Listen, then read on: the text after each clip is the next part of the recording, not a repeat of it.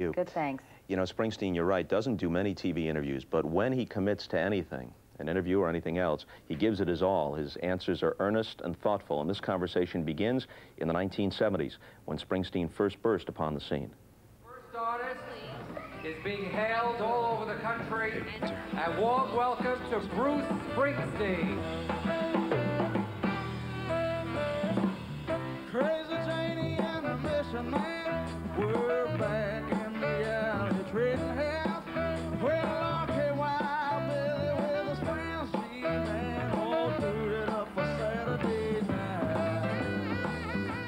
I read where sometime in the mid-70s you're in London, and there are posters up proclaiming you the future of rock and roll. The famous Jon Landau uh, line from a review, I've seen the future of rock and roll. Its name is Bruce Springsteen. And what did you do? I, I took him down, you know, I tore him down. And uh, uh, it was it was an appropriate reaction, I thought, you know, uh, at the time. And, and I guess I was just trying to say, well, gee, this is mine, you know. You're walking around town ripping this Well, thing off, off it was, walls it was in a, and it was in a, it was in a theater, really. It, uh, it was mostly in this theater that we were about to play in that evening, and I felt that the, that that it was insulting to the audience, you know, and so I, you know, I got nuts and and and uh, and, and I was right. I was right, you know. Hey, if I was going to come out and if I was going to be good, then then I'd be good, you know. And if I wasn't going to be good, I didn't want somebody telling people what to think, you know. I felt like hey, I can come out and, and I can I can hold my own. Screen door slams. Mary's dress sways. And then some. Few artists have combined popular appeal and critical acclaim as Springsteen has, selling tens of millions of albums, winning eight Grammys and an Oscar, and packing clubs, arenas, and football stadiums. His following is among the most loyal and passionate in all of music. I just can't face myself alone again. you said, I, I didn't just want to be heard, I wanted to be understood. And obviously, what you had to say has been understood at some level by millions and millions of people. But when you turn up the amp, you're going to get some distortion.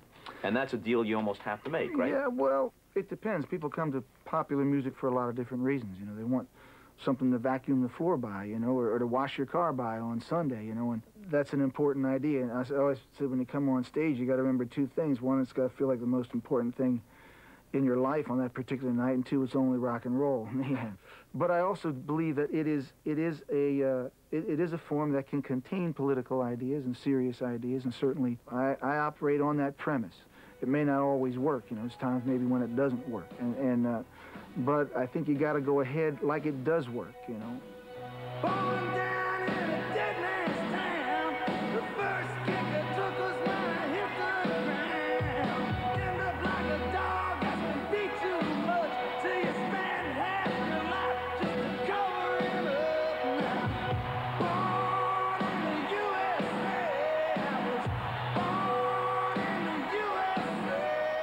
Most people know the story of some people misinterpreting Born in the USA, uh, President Reagan uh, thinking it was some sort of patriotic anthem and quoting it. But even beyond that, uh, you, you talked about uh, trick-or-treaters coming to your house. you know, 11 and 12-year-old kids who had no memory of Vietnam, and they- didn't know the part of the song about Sanh or whatever, but, but they sure knew, hey, Bruce, Born in the You know. USA, baby. Or oh, they, the kids coming, they, they were born in the USA. You know, at five or six years.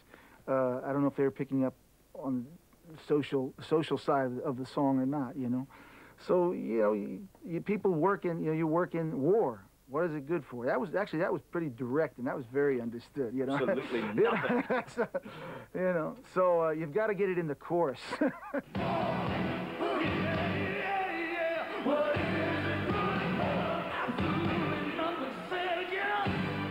was part of what the motivation behind the four-hour shows. The idea that, hey, I'm going out there to work. I come from a working class background. I'm not just some guy who had a talent and caught a free ride. I want my folks and everyone who cared about me to know I'm out here to work. And, and when, when I become successful, I'm going to still write stories about those people. Uh, I, I didn't- have a, a, a.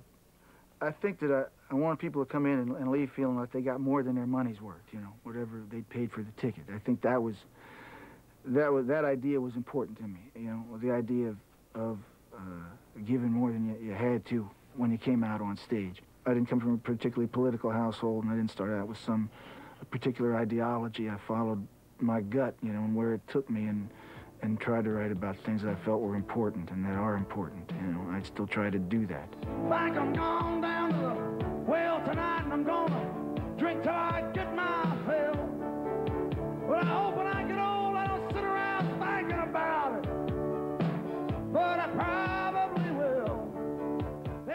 very concerned at 26, 27, 28 with writing songs that wouldn't seem out of context if you performed them when you were 40.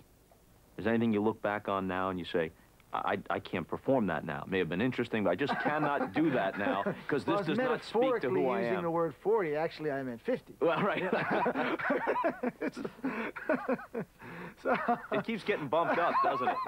Pretty soon it'll be 60, and I mean, Jagger's out singing Satisfaction at 55. We got to recalculate everything, don't and we? there's probably some part of him that's still not satisfied, you know. So, so or else he wouldn't be out there doing it, you know. So, uh, So you see yourself doing this in some form or other and creating new music 15, 20 years down the road from here. I, I- well, as long as you're as you're driven to do so, you know. Uh, uh, I don't have any other occupation I'm going to be moving into. You know, I'm hoping this one's going to see me through. You know.